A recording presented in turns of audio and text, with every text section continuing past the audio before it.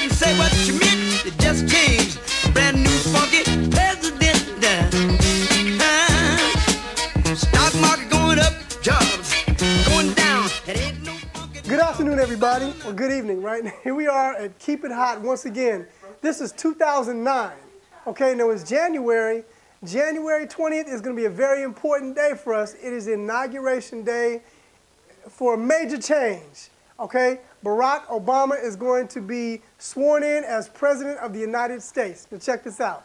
And we have something special for that tonight. And what we're going to do is we're actually going to make his favorite recipe to cook at home. I mean, hey, the man's going to become president. Why not make his food? Now, what we're making tonight is Barack Obama's family chili recipe. Okay, now, what we have is bell pepper, an onion, some garlic, uh, chili powder, oregano, basil, turmeric, uh, cumin, tomatoes, of course, red wine vinegar, a can of red kidney beans, and some olive oil. It's a large green bell pepper. I'm gonna go ahead and chop it up some nice, nice pieces. We don't want pieces that are too big, but we don't want them too small either.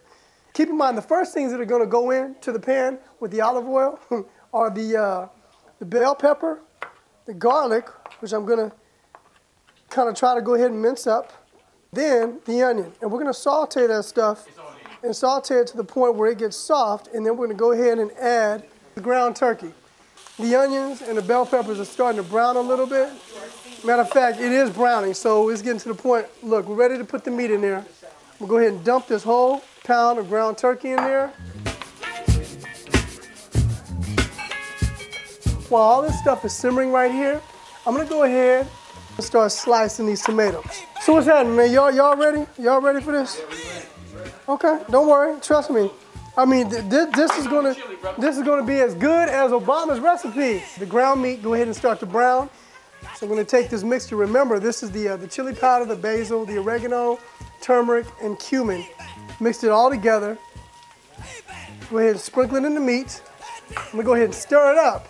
And then what I'm gonna do, I'm gonna go ahead and dump all the tomatoes that I cut up or chopped up and put them in here.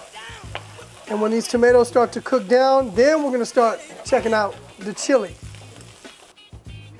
Now, now in the recipe it says to take this chili and you go ahead and you put it over some white rice or preferably brown rice. But since we I didn't make any rice, we're just gonna have it in nice bowls and we're just gonna tear it up. I'm gonna go ahead and take this can of uh, organic red kidney beans, of course, another purchase from Farmer Joe's. Go ahead and dump them in here.